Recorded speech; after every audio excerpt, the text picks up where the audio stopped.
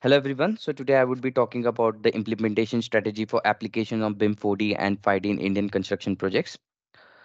So before starting the presentation, I would like to give you a uh, small background about myself. My name is Gaurank Prashant Patil and I work as a BIM coordinator for 4D and 5D operations in Tata Projects Limited. I have an overall experience of three years in Indian construction industry and I have worked on projects like New Parliament Building, Chennai Metro Rail Project and AIIMS Jammu. I'm a BIM change agent of Indian BIM Association and a committee member of research group of NICMAR alumni. For more details, you can also search for my LinkedIn ID as given in the presentation. So coming up to the agenda of today's presentation, the first uh, would be the presentation outline that why do we require BIM 4D and 5D in uh, Indian construction market to execute the projects. Then some of the industry insights which will states around the uh, projects that have been time and cost overruns. Uh, then the industry demands that what really the industry required for now for uh, and in the coming future to execute the project smoothly and uh, the strategic approach that how BIM 4D and 5D can serve this purpose to execute the project smoothly. So in the introduction, we can see that India is one of the fastest growing economy in the world, and it uh, the construction sector in India contributes around second employment sector after agriculture, which is the significantly a major contribution in national GDP. And as a part and a vision of Indian government, they are trying to put 1.4 trillion dollars on its infrastructure investment for next five years to make an India a 5 trillion economy by 2024. So the level of complexity of such projects is very high due to international nature in procurement as well as sophisticated client requirements. So basically, you can find that they want to make an economy of five trillion dollars by 2024, and they have already started to execute the plans to have an investment of 1.4 trillion dollars. And also, there are many highways coming up. 26 green highways have been executed all across the uh, country, and there are many bridge projects coming up like Sea Link and uh, Sea Link extension project. And more uh, sort of complex projects are coming up which leads to some of the major challenges that we are facing in indian construction industry like lack of coordination lots of design changes high number of changes leading to rework ineffective procurement strategy resulting at the end resulting into the cost and schedule overruns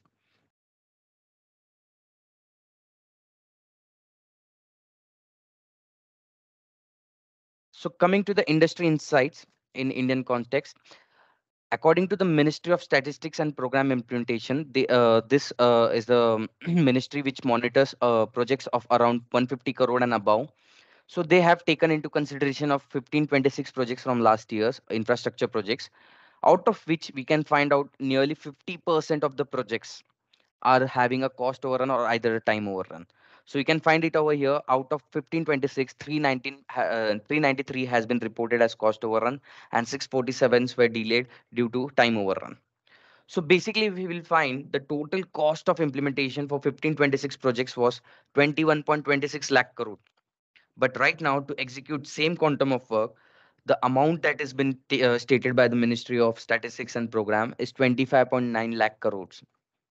So basically 4.65 lakh crore is the more cost that has been incurred in executing this project with the same quantum of work, due to which 21.88% of the original cost is being taken into consideration again after the execution of this, uh, in the middle of the execution of this project. Also in their survey, out of 647 projects that were due to time delay, 132 were the projects which had a re- uh, delay of 1 to 12 months, that is nearly around one, uh, one year. 118 were around one year to two year span 273 were around two years to five years of span and 124 were delayed above five years span so basically the average time overrun if we can calculate 647 projects were delayed which were having average of around 41.64 months time overrun so basically if you'll see 4.65 lakh crore is the cost incurred which uh, dedicates that which uh, which helps us to know that there is a requirement to have a proper common uh, coordination process as well as a more technical process. Digital trace records should be there. So many other things comes into the picture. So we require a very smooth flow of construction process with a strategy to execute these projects so this is one of the famous picture that we have in uh, the indian market. Uh, basically uh, it is of iceberg and the ship. So if we uh, if we see ship as a project or construction project whenever it comes near to the iceberg that is the project schedule that is in when the project is in the construction phase basically before that construction phase in the pre-construction level we go for three pillars of the project that is cost time and quality.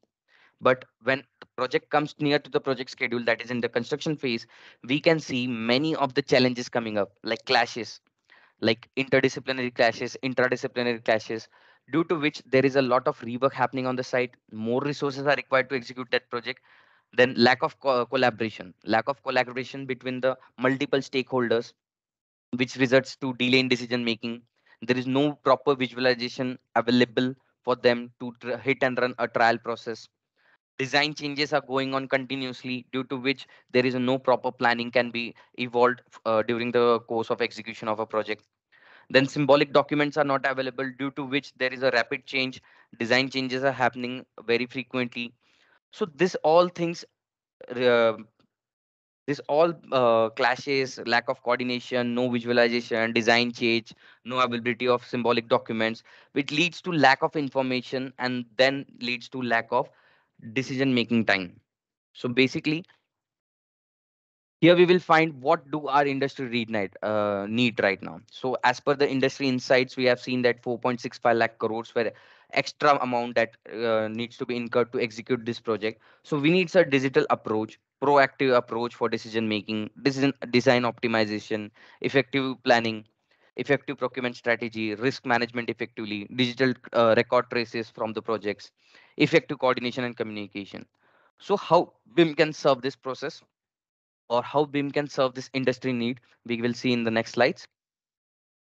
So basically, this is a workflow for how to adopt BIM 4D and 5D in a construction projects. So to apply BIM 4D and 5D in construction projects, we require two major inputs that is BIM construction schedule and the design model that is the information 3D model of LOD that is level of development 300 or above. Also, we require a construction schedule that is the MSP or Primavera schedule where the sequence of work breakdown structure is given to execute the whole project from initial level to the final level. Once this both inputs are available, we can break the model 3D model as per the construction schedule and we can link them with the baseline dates. So by linking them with the baseline dates, we will get this three as an uh, output from the uh, 4D softwares like Synchro, Bexel Manager, Navisworks, etc. So we can get a construction sequence visualization. A project manager or any of the stakeholder of a project is able to visualize the project at the initial level of the uh, pre-construction stage of a project, where he can also find uh, haywire things which uh, which are not in line or which things are in line. So he can have schedule optimization as well as critical path analysis so this comes for 4D. When you go when you need to go for 5D, you at least require cost classification with the unit rates, and that should be conducted in the construction schedule to execute a proper timing of an activity and proper cost that is required to in, uh, execute that particular process. So once we are adding this cost parameter into MSP or Primavera, we are able to fetch cost reports and cost estimations from the 5D model. So basically 4D stands for the time, 5D stands for the cost. So this comes for the construction stage.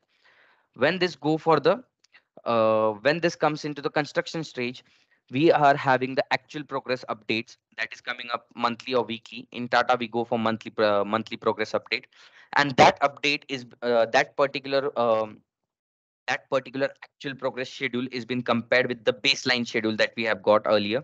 So basically, we know that in MSP we have four dates that is plan start date, plan end date, actual start date, and actual end date. So plan start date is uh, compared with the actual start date, and plan end date is uh, uh, compared with the actual start date. So we it gives us a clear clear visualization of the process. Also, it gives us the clear idea that what amount of work is lacking behind. So once we are done with the plan versus actual construction uh, in the 4D softwares or 5D softwares, we are able to fetch real-time progress monitoring, that is plan versus actual progress. Then we are also able to have plan look at plans and act, uh, also the actual look at plan. So as per the plan look at plan for the three months six months or one month we are able to exit uh, we are in the position to calculate the number of resources. And as per the actual progress we are able to know that what amount of more resources we are required if we are lacking behind the progress. Then critical path monitoring has been done through this particular part so that we are able to know when the critical for example any critical path is approaching in the one month look at plan we are able to get the particular required material, particular required labors, particular required machinery to execute that particular critical path activity on time. Then we have, uh, this comes for the 4D and as well if we are going for 5D projects, uh, with the 4D, we are able to fetch cost reports and cost tracking that as per the cost progress, this was the cost uh, achieved and executed or planned or executed. So we will uh, so here are the inputs, here is the processing phase, and here are the outputs that we get from the 4D and 5D that will serve the industry purpose. So basically, uh, we will uh, know more about this particular process in detail in the next slide.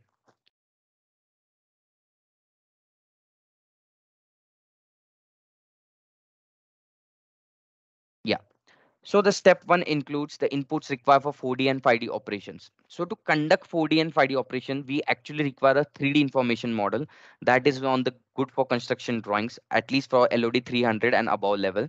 Once this model is available, then we come for the we, we look for the project schedule where all the activities are uh, having a work breakdown structure all the activities sub activities are having specific start date and end dates so that we can have the same number of uh, same uh, work breakdown structure where the model can be bifurcated into and then link into. For example, if I need to give an example, there is a uh, there is a structural slab that need to be costed on the site, and it has been uh, divided into three pours. So each pour is having uh, start, a different start date and uh, end date or respective start date and end date. So it is very compulsory for a, 3, a 4D modeler to bifurcate that particular 3D LOD 300 or 3 uh, above level model to bifurcate that particular structural slab into three pours so that he can give respective dates to the respective pour level slabs. Also, one more thing that I missed on. So basically, if we are have uh, adding this particular uh, cost details into the MSP schedule, it becomes very easy for a 4D or 5D modeler of a coordinator to add add that particular cost required to execute that particular activity at that particular time. So it is very essential whenever you are starting the 5D progress, it is very essential to have the cost data inculcated into the MSP MSP part or the cost breakups that is BOQ should be inculcated into 4D or 5D softwares. So the step second is adding 4D parameters. As I stated that the MSP schedule is having work uh, definite work breakdown structures. So we can add that particular work breakdown structure into LOD 300 model in the Revit platform. Here you can find this is the uh, WBS level that is work breakdown structure level one. So here it is structural works, then superstructural part, pour two, ground floor roof slab, and the slab concrete. So the slab concrete activity of pour two has a specific date and specific time. So at the start time and at the end time, it helps us to understand the uh, level more completely. Now the step three comes into the linking model with the schedule and cost. So basically, once you are uh, you have completed the break, work breakdown structure or bifurcated the model as per the work breakdown structure in uh, in the Revit platform, you can then import that particular model uh, from Revit to a 4D software like Bexel Manager, 4D and 5D software like Bexel Manager or Synchro. So once you have done with that, here you can find uh, this part of the screen. This part of the screen is the schedule that you have imported it, that the baseline schedule. And here you can see that these are the selection sets that you have created uh, by bifurcating the LOD 300 model. So you can find this, uh, it is the exact replica of the schedule that is the selection sets of the model. So here if you find that substructure, then phase one, basement one, pour one, backfilling and compaction. Same level of linking you will find over here, phase one, basement one, pour level. So here is the part of linking schedule and cost. Once you link the bifurcated model with the schedule, automatically the time and the cost component gets, um, automatically the time and cost components get linked. So now, once you are done with that, you are in a position to conduct a baseline simulation video. So this is a sample video of a Tata project, uh, one of the project of Tata. So here you can find the date is there. That's the start date. That is the 4th August 2020. The completed cost percentage. completed cost and the cost uh, completed percentage as per the cost. So I will run this video.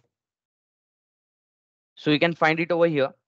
The, uh, the structure level is coming up as per the baseline dates of the MSP schedule and the cost and the percentage is also coming up with respect to the date that has been assigned to. So here you will find that this is the complete uh, structural and architecture model of one of the project of Tata projects. And they have, uh, we are in a position to visualize the sequencing of the construction. We are able to see what amount of percentage should need to be achieved at what particular time of the project phase. So the baseline simulation is been conducted. Now we will go to see once we had, just a second, once we have linked the 4D and uh, 5D plan dates and actual dates to the particular project, this is another example of uh, the plan versus actual uh, project, plan versus actual simulation of a particular project. So here you will find it over here.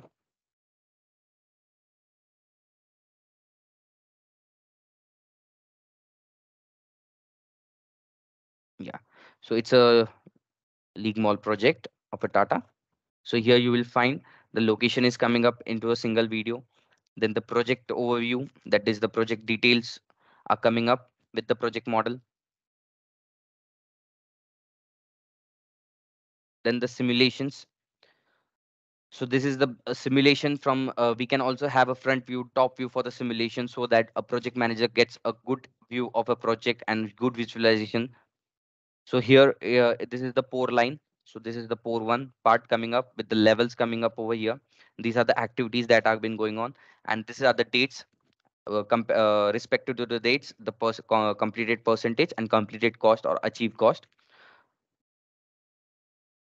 Just forward this video.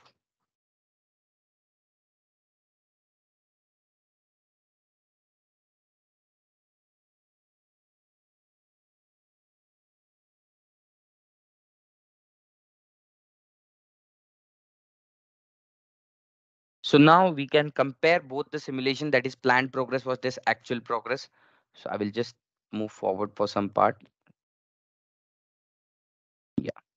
So if I stop for 30 January 2022 for the same date, we can find it over here that the planned percentage was around 7.61% and we have achieved till now 4.35%. So at this initial level, uh, that is the PCC level of the project, we are able to compare that we are 3% behind the plan dates and on the 30 Jan 2022 of the project. So this simulation helps the project manager in the look at plans that how he can uh, reduce this delay, how he can come back to the project uh, project on track so this kind of visualization helps the project manager to take a decision at that particular time at the initial level of the progress.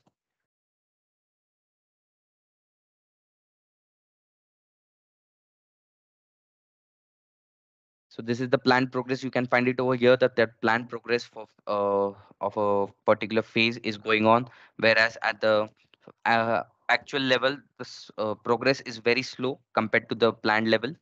So here we can find it over here here we can also have the comments like there was no availability of material or there was no availability of labors for that particular part or there was uh, some site constraints or the climatic constraints so here we can also have a detailed uh, perspective of how a project can be monitored at the particular level of uh, any date of a particular level of a project.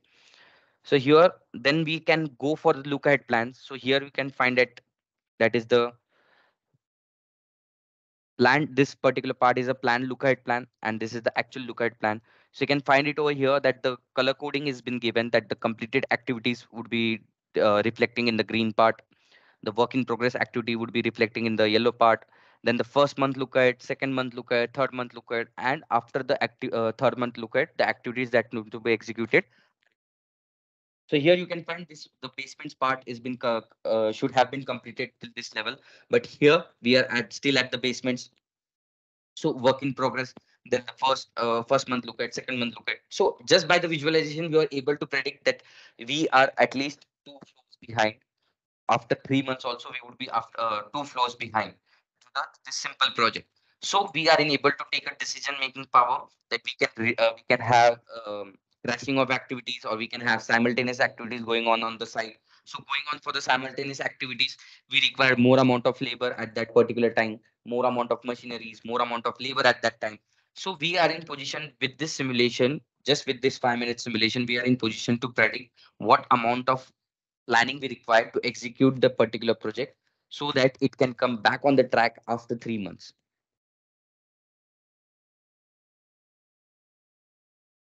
So basically, we can also get the photograph level uh, identity so that on the WhatsApp groups of the uh, stakeholders or on the platform like uh, ACC, that is Advanced Construction Cloud, that is uh, formerly known as earlier known as BIM 360 Docs.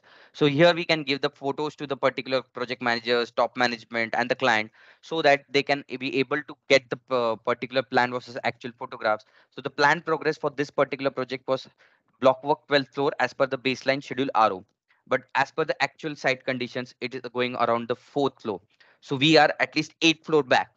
So here it's the time for us to uh, either change the baseline dates or either go for the crashing of activities or either go for uh, simultaneous work of activities so that we can achieve the particular deadline and we can avoid cost overruns and time overruns. We can also fetch 4D, uh, 4D and 5D cost reports, uh, 4D time and cost reports from Power uh, in form of Power BI through Bexel software as we are using this.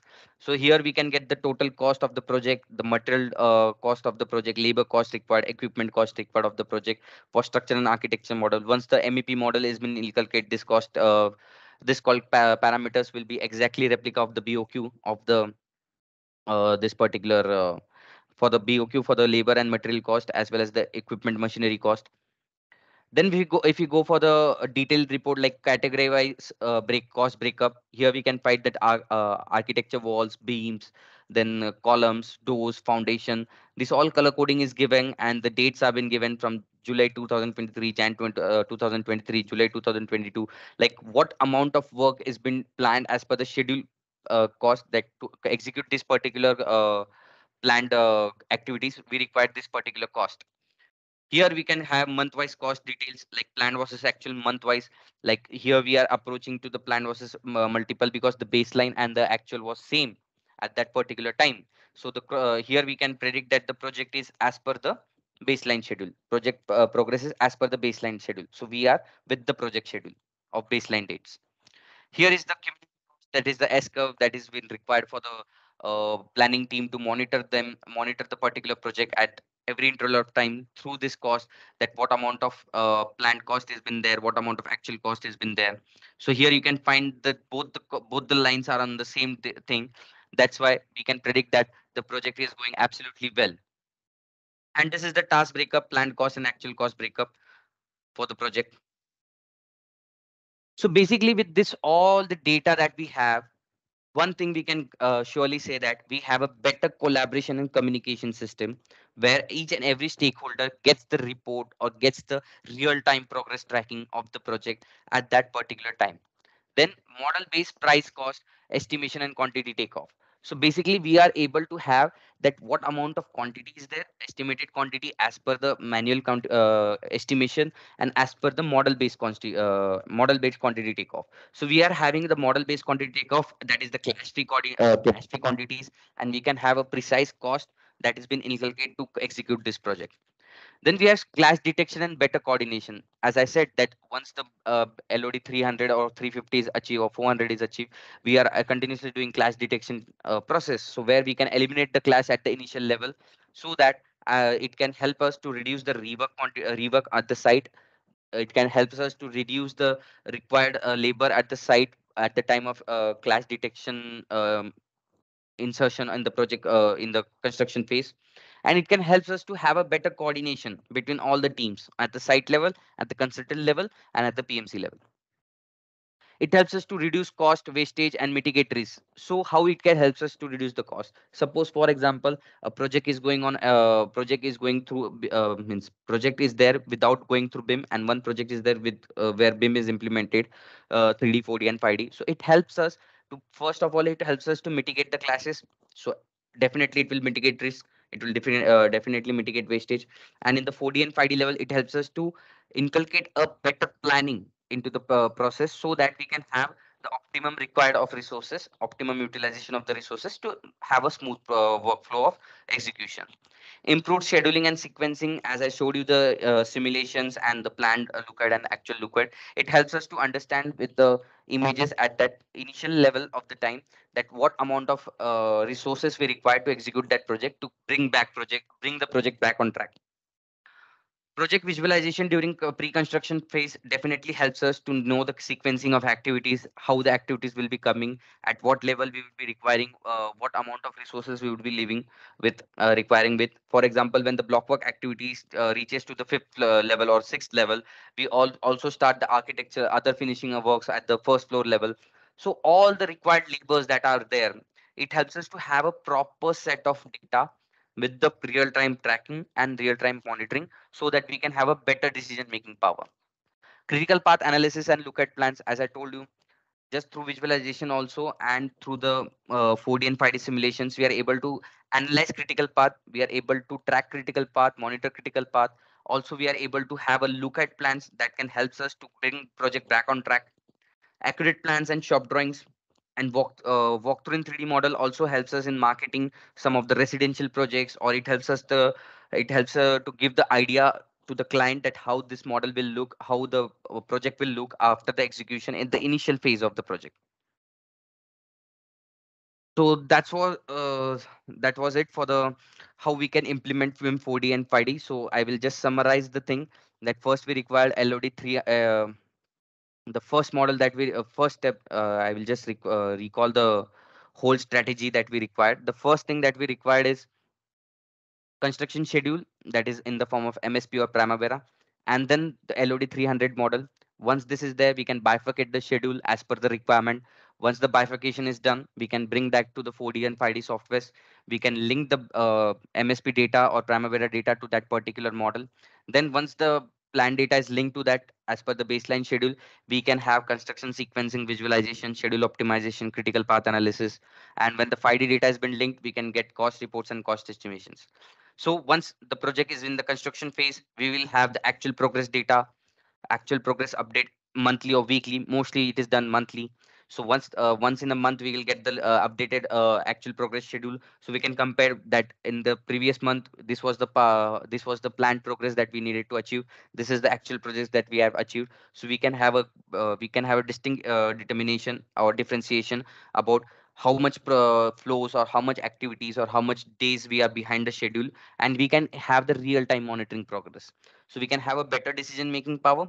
We can have a better planning we can have a better coordination through this and we can also track the cost and we can also mitigate the risk that can be uh, that can be uh, that we can have uh, risk we, we can also mitigate the risk by encountering the risk at the initial level of the project and we can mitigate that in at the initial level of the project itself so that when the risk comes at the later stages of the project it definitely will have a cost and time impact on the project so this was it that how the BIM 4D and 5D implementation strategy should be there. So thank you all. And if any questions, you can just uh, message me on LinkedIn or we can also have the uh, later the discussion on uh, the portal. Thank you.